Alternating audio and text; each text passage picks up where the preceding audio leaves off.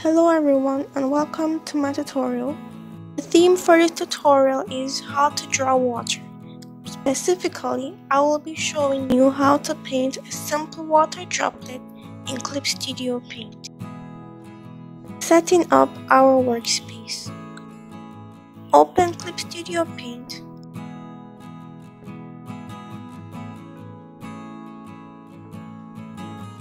Enter your settings and press OK.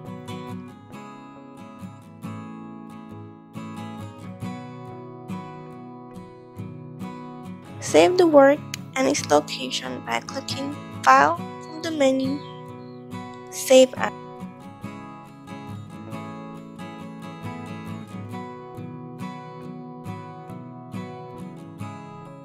To import the image that you want to add water drop to, Go to File from menu, Import, then Image. Select the image, then click Open.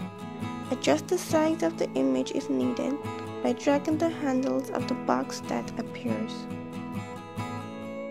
In the Layer palette, move this image below the blank layer that was automatically created along with the file. Do this by clicking on it, then dragging it below the layer the body of our water drop. Click on the blank layer and name it droplet. Do this by hovering over the word layer, then double clicking on it. Enter a droplet, then press enter.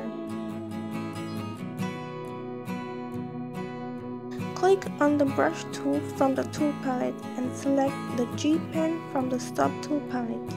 Adjust the brush size, then create a single dot on the layer. Lock transparent pixels on this layer by clicking the Lock transparent pixel icon at the top of the layer palette while on that layer. Or go to Layer from menu, Layer Settings, Lock Transparent Pixels. Applying our gradient. Go to the Gradient tool from the Tool palette. Choose the Foreground to Background subtool in the color wheel, set the foreground color to black and the background color to white. To further adjust the gradient, click Advanced Settings in the Tool Property palette. On the color bar, there should be only two colors, black and white. If there are other colors, delete them by clicking on the node, then clicking the delete icon or use the left or right arrow until you are at the color you want to delete, then click the delete icon. Do this until you only have two colors, black and white, then press OK. Now apply your gradient. The black, which is the foreground color and the first color in the gradient, should be facing the direction of the light source.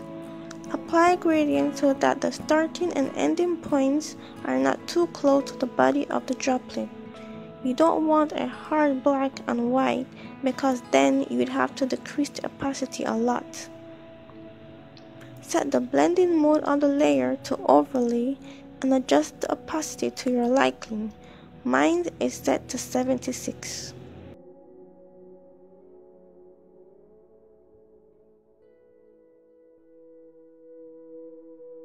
On this same layer, select the color white and apply a speck of highlight at the bottom near the edge of the droplet. Personally, I like to use the Shadow Airbrush subtool with the blending mode set to normal.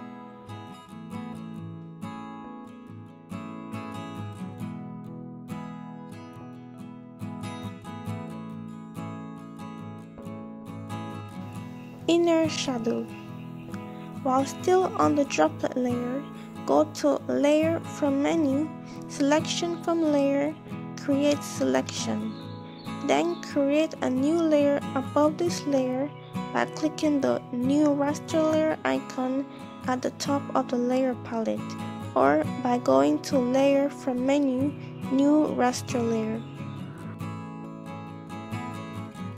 Now that you have a selection of the shape of the droplet, it is time to outline it. Select the color black from the color wheel. While still on this newly created layer, go to Edit from menu, Outline Selection. In the outline selection dialog box, click the Draw on Border border type and enter a line width size that will give you a thin line inside the selection area. Then click OK. To blur this line, go to Filter from menu, Blur, Gaussian Blur. When the dialog box comes up, specify the strength and click OK. I recommend specifying a low strength so that the border is not blurred too much. Now unselect the selection by clicking the deselect icon in the bar of icons beneath the selection or by going to select from menu, deselect. Now clip this layer to the droplet layer below by clicking the clipped layer below icon in the layer palette or by going to layer from menu, layer settings, clipped layer below. Set the blending mode of this layer to multiply and adjust its intensity by adjusting the opacity of the layer. Drop shadow. Click on the droplet layer and create a selection from it again. Do this by going to layer from menu, selection from layer, create selection. With the selection created, create a new layer. Again, to do this, click the new raster layer icon in the layer palette or go to layer from menu, new raster layer. Name this layer shadow by double clicking on the word layer that is on the layer in the layer palette. Enter the name and press enter on your keyboard. Now go to layer from menu layer mask mask selection. At this layer in your layer palette, you will see a small white box with a black circle in it appear. This is the mask. To get back to editing the layer, click on the other box that is to the left of the mask box. A white outline will move from the mask box to this box, indicating that you are no longer on the mask. Set the blending mode of this layer to overlay. Then select the color black and apply shadow that is casting away from the light source using the airbrush. I find it easy to apply the shadow using the airbrush with a size that is close to that of the droplet.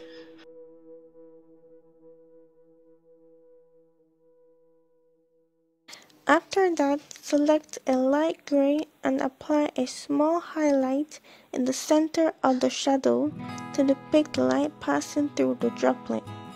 This might be easier using a small brush size and hardness set to low in the tool property palette.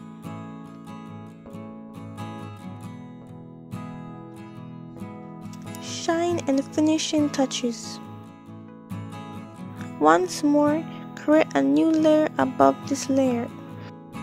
With the color white selected, use the G-Pen brush subtool and add a dot near the top of the droplet in the direction of the light source.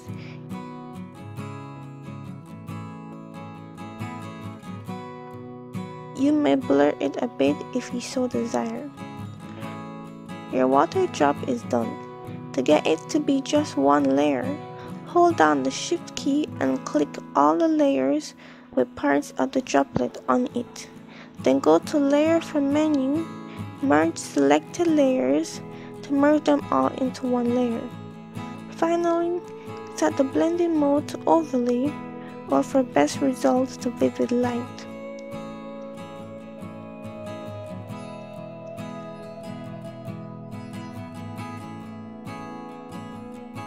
Modifications A great thing about this droplet is that it can be applied to a different background without any adjustments.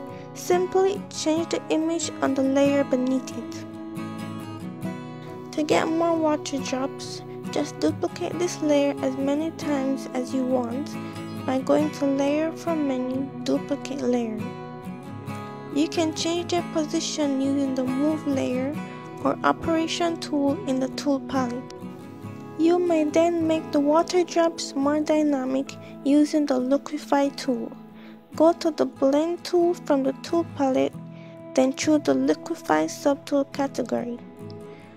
The different Liquify modes include Expand and Pinch with adjustable strength, brush size, and hardness. The pinch mode can be used to easily shrink the water drop without going through the hassle of using another tool. Just make sure the brush size is big enough to cover the entire water drop.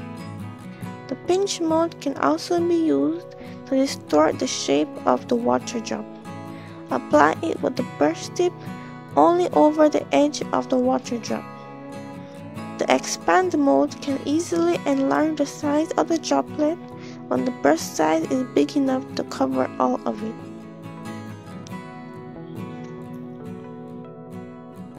Luckily for you guys, the image of the water drop created in this tutorial is posted on the Clip Studio Asset Store for free for you to download.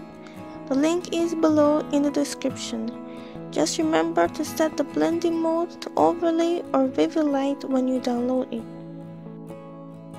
Hope you found this tutorial very helpful. Thanks for watching.